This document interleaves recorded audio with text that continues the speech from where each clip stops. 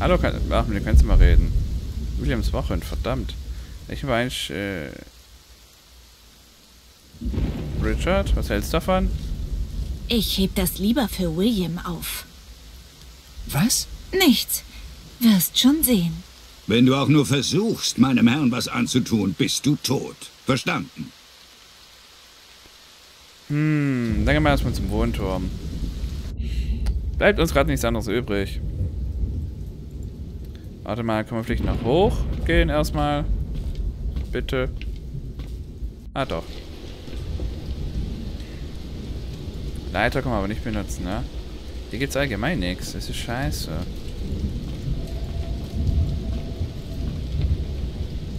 Gut, äh, ja. Auf oder runter? In dem Fall gehen wir hier runter. Über die Treppe. Also, William, for you. Mehr gab's nicht. Dein Essen. Ja, was ist das?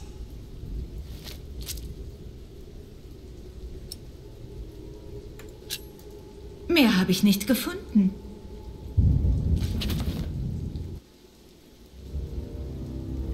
Du glaubst wirklich, du könntest deine Spielchen mit mir treiben?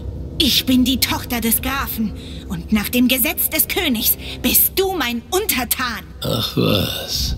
Vergiss, was ich über deine Arroganz gesagt habe. Sie macht dich eigentlich ganz hübsch. Ha?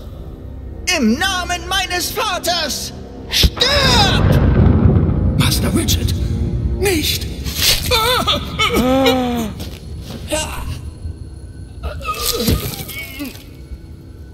Dummer Junge. Fast so dumm wie seine Schwester. Ich würde dich rannehmen, wenn ich wollte. Aber ich stehe nicht auf Jungs. Was ist mit ihr? Ist sie tot? Lass sie. Der König hat noch nicht gesprochen. Wartet, bis euer Vater Graf ist. Dann könnt ihr mit ihr machen, was ihr wollt. Verdammt! Zur Hölle! Sie ist so hässlich, die will doch eh keiner. Steck sie zu den Tieren, bis der König entschieden hat. Ich bin ja an das blöde Schwert rankommen. Ich hätte nicht gewusst, jetzt wie. Bast äh, Lübe presents äh, eine Unmöglichkeit. Ich wollte doch, Mann, ich wollte einen Abstecher. Aber wie?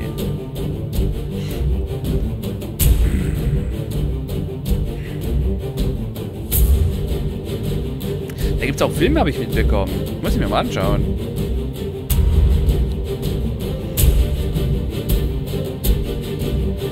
Habe bestimmt schon einen Fehler gemacht.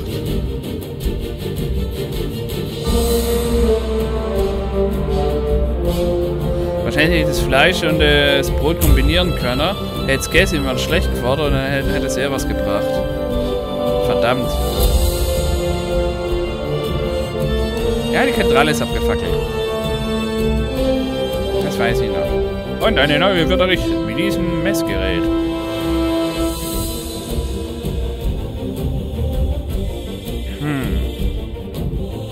Gespannt, vor allem wieder, also das erste Buch zum Spiel, also der erste Teil vom, vom Buch. Es waren Unterschiede vorhanden, aber die waren vertretbar. Weil ich habe mir dann auch gedacht, okay, wenn da alles so jetzt reingekommen wäre, wie es im Buch erzählt worden wäre, hätte man wahrscheinlich eine FSK 18 Einstufung bekommen für das Ding. Wäre dann hart geworden. Das ist noch bei FSK 12, das ist auch noch okay.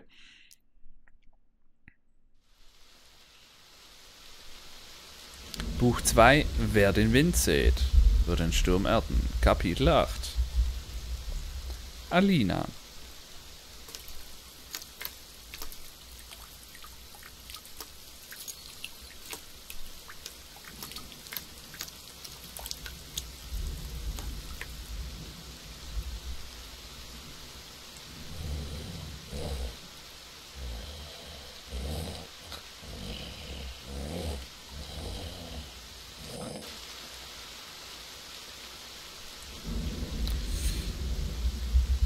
Richard? Auf, Richard. Richard! Richard! Wach auf! Hm. Was haben wir hier? Hufeisen. Oh, das ist Ich gut. kann es nicht erreichen. Was ist mit den Ketten? Es muss einen Weg geben, sie zu sprengen.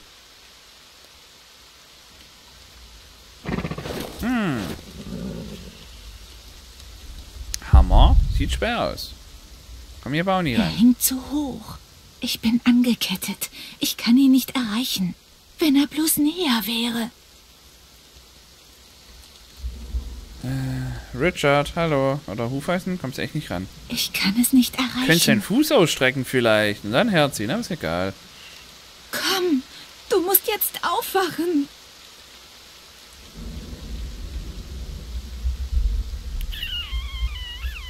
Ja, uns bleibt nichts anderes übrig. Hey, Ah, er wird wach. Ellie, Ellie, mein Ohr. Was hast du dabei gedacht? Wie fühlst du dich? Wie. Äh. Ja, äh, äh, hier. wie hast du dich vorher befreit? Ich weiß es nicht. Sie haben die Fußschellen angepasst, als Sie mich hier angekettet haben. Aber heute habe ich es irgendwie geschafft, rauszuschlüpfen. Die letzten drei Wochen haben mich wohl sehr entschlossen gemacht. Ja, und sehr dünn. Wie fühlst du dich? Mir ist heiß. Wir müssen dich abkühlen. Die Wunde lässt dein Blut kochen. Wir müssen an einen trockenen und kühlen Ort kommen, damit du heilen kannst. Ellie, Sie haben uns angekettet. Ich werde hier sterben. Keine Panik. Das macht es nur schlimmer. Hm, fragen wir auch mal noch nach. Wobei, äh, ja. Was hast du dir dabei gedacht, auf William loszugehen? Ich musste dich beschützen. Das war sehr mutig von dir. Ich weiß nicht. Doch, Vater wird stolz auf dich sein, wenn du ihm davon erzählst. Hm, wir kommen hier raus, auf jeden Fall. Gib nicht auf. Wir kommen hier raus. Und was dann? Wir werden Vater finden. Er wird wissen, was zu tun ist. Ich habe gehört, er sei beim König in Winchester. Dann müssen wir auch dorthin. Du wirst schon sehen. Er bringt alles wieder in Ordnung. So, erstmal mit dem Hufeisen her jetzt. Richard, wirf mir das Hufeisen zu. Es ist nicht hart genug, um damit die Ketten zu sprengen. Ich hab's versucht. Ich werde mir was einfallen lassen. Gib's mir einfach.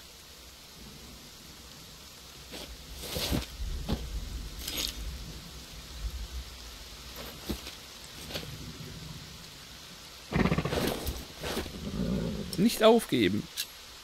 Nur nicht aufgeben. Wir kommen hier raus. Ich weiß nicht.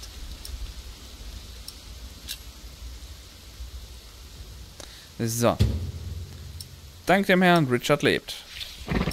Ja, jetzt nehme ich das Hufeisen. Ein einzelnes Hufeisen. Ein einzelnes Hufeisen, ja, habe ich schon gesagt. Können wir es in den Kopf werfen?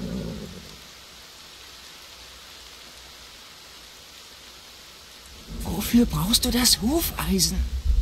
Sch, wirst schon sehen. Ich habe eine Idee, aber wenn wir gerade speichern können, ne? Ich bin mal so frei. Ja. Perfekt. So. Hufeisen und Hammer.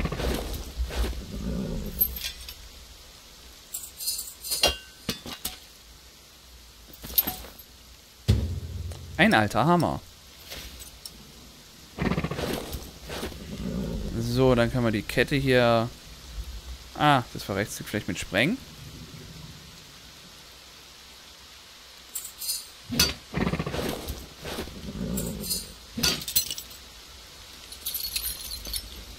Und nehmt den Hammer wieder mit, den brauchen wir gleich. Deine mache ich als nächstes auf.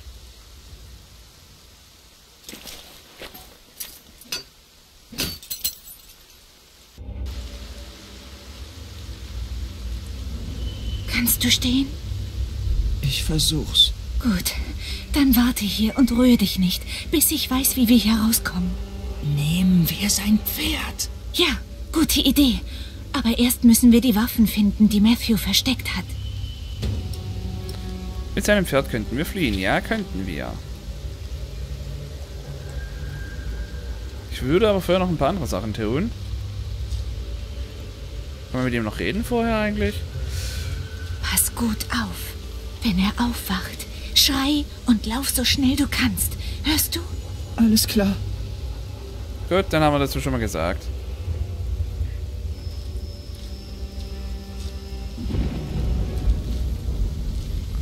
Warte mal, mir, mir. Ich will mir die Möglichkeit nicht nehmen lassen, die beide umzulegen. Das würde ich jetzt sehr, sehr gern tun. Deswegen, da er jetzt gerade hockt, der kleine Lümmel. Dieser Roger Rabbit Typ. Hof.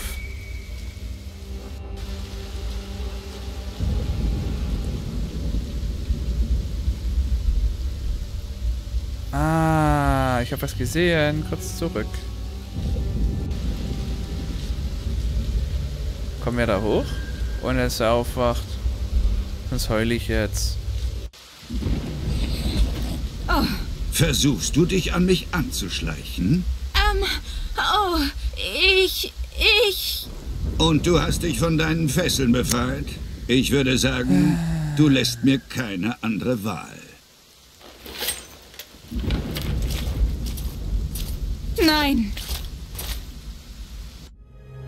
Dad, nochmal!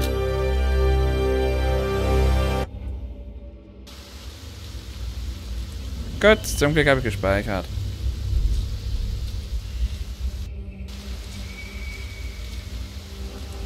Wir müssen da eigentlich zum, zur, zur Mauer hoch. Herrenlos und leer. Bänke? Niemand hier. Hier waren immer alle möglichen Waffen. Für Vaters Ritter. Jetzt ist nichts mehr da. So, zu, zu den zwei Lakaien gehe ich jetzt mal nicht, weil, ähm, Ugly äh, Gervas und Huge Axe, ähm, weil, ja, überquere den Hof, dann gehen wir zur Mauer hoch. Die müssen wir aber irgendwie auch noch umlegen.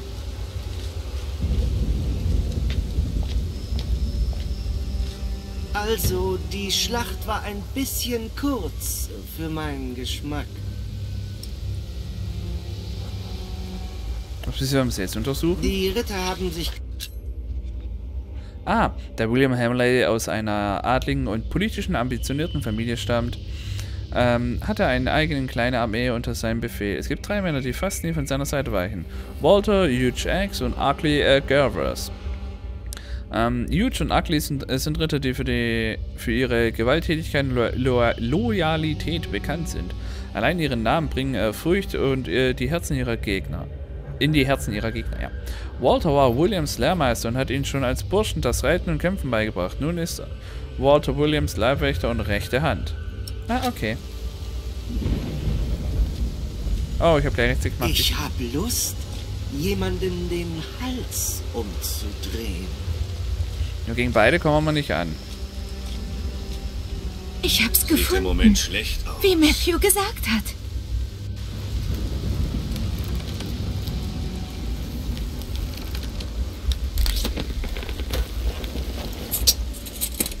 Ich hätte schon gedacht, das fliegt jetzt runter. Das sind die definitiv nicht gehört.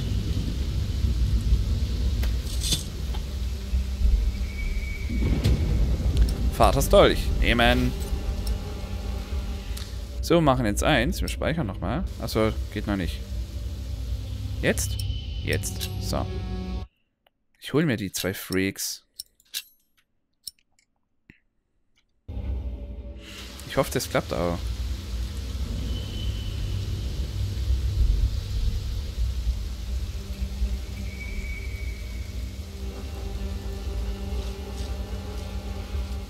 Geht das nicht?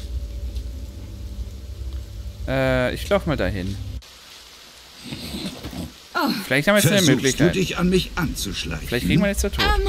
Ich weiß nicht, dass wir bewaffnet sind. Ich, ich. Und du hast dich von deinen Fesseln befreit? Ich würde sagen, du lässt mir keine andere Wahl. Nein. Hallo, du hast, du hast, nutzt den dort. Ja, komm, Mann, ich stech dir nicht mal. Ach komm, Alina, du bist doch eine dumme Nuss. Ich könnte ihn abstechen, aber ich tue es nicht. Da. Williams Fair, ein schönes Tier, gut gepflegt. Ja gut, dann hauen wir jetzt ab. Steig auf, streichle es, nimm den... Streichle es.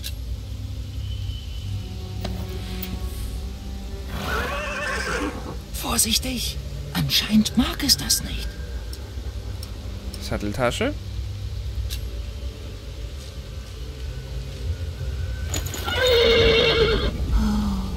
Ruhig, ganz ruhig. Was machst du? Das Pferd hätte fast die Wache aufgeweckt. Der Knoten ist zu fest. Schneid mal los. Vielleicht bringt's ja was.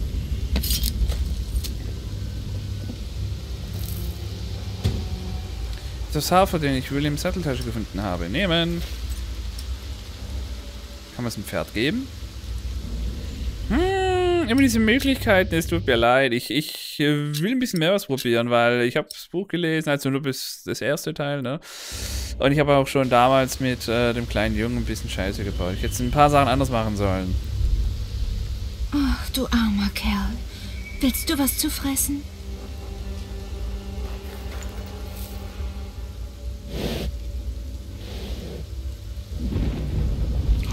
Bei Tieren geht Liebe durch den Es Magen, ruhig. Versuch aufzusteigen, Richard. Aber wohin geht es? Nach Winchester natürlich. Wir müssen Vater finden und mit dem König sprechen. Sie müssen erfahren, was hier geschehen ist. Jetzt steig auf. Wir haben nicht viel Zeit.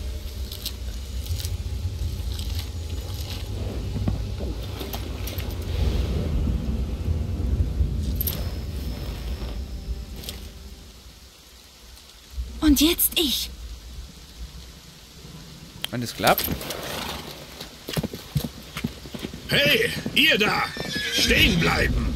Schneidet ihnen den Weg ab!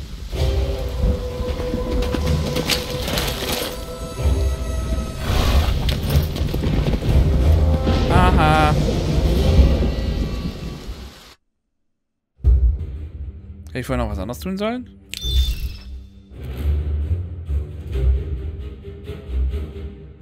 Ah, hier. Okay, gut.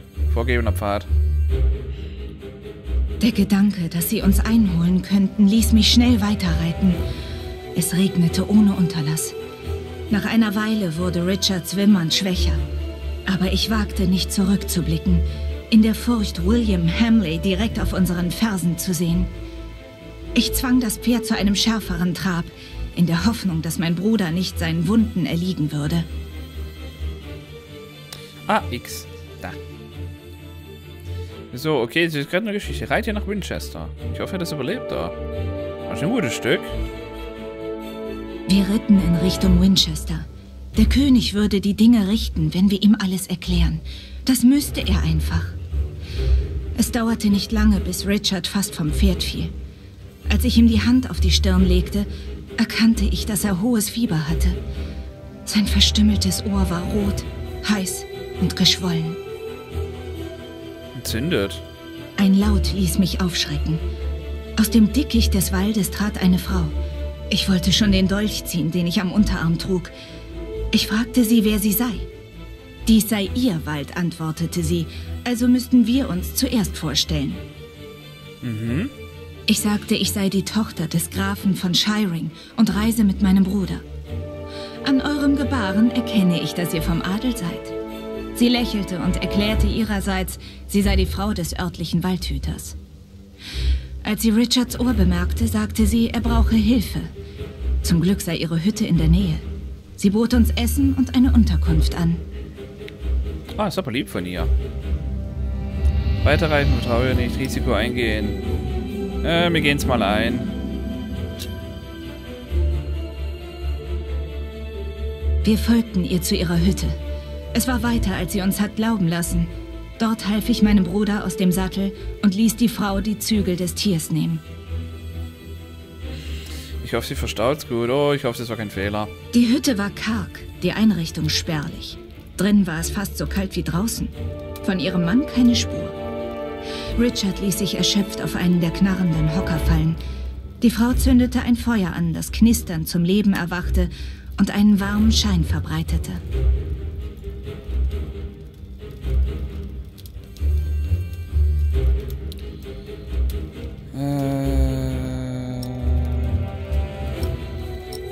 Hier, ich hoffe, das hilft. Ich sagte, dass wir ihr jetzt nichts geben könnten, aber würde sie Richard helfen, würden wir eines Tages wiederkommen, um sie zu belohnen.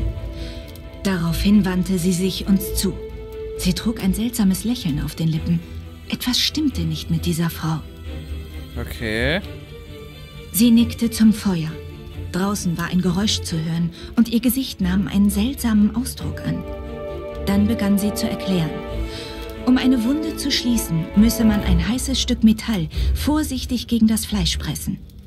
Dies würde die Dämonen und üblen Gerüche daran hindern, in den Körper einzudringen.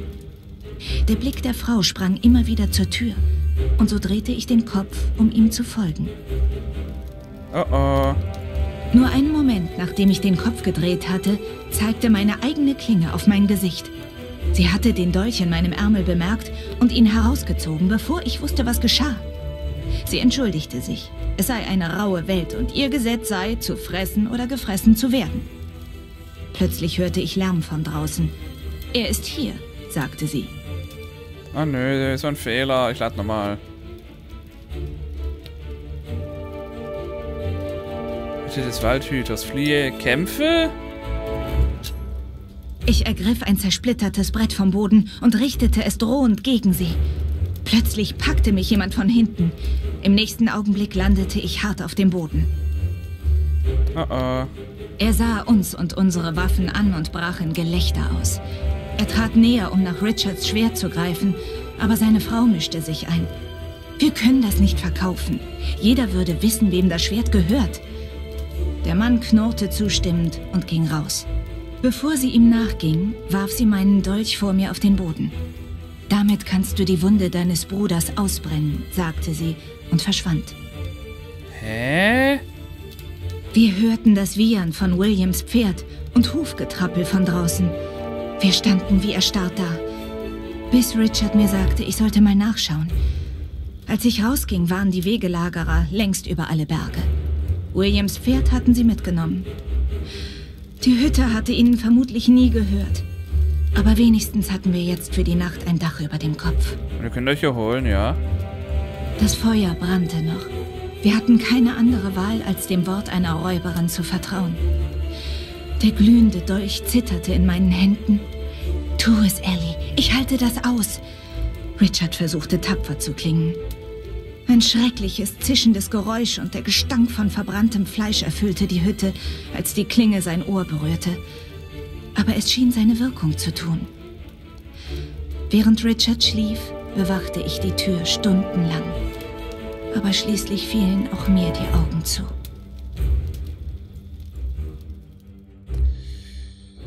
Puh. Und jetzt geht's weiter nach Winchester. Ich denke, das war vielleicht nicht verkehrt, wir haben zwar kein Pferd mehr, aber das Gute ist, ähm, die haben, die haben jetzt ein Pferd von denen und der Vorteil könnte sein, dass sie jetzt denkt, dass sie uns umgebracht haben. Ne? Mal gucken. Aber, und wir konnten... Zwei Tage lang gingen wir zu Fuß weiter. Nur kurze Pausen dazwischen. Aber schließlich erreichten wir die Tore von Winchester.